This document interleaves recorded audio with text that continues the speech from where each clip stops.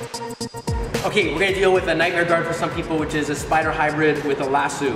Dangerous if I don't know what I'm doing.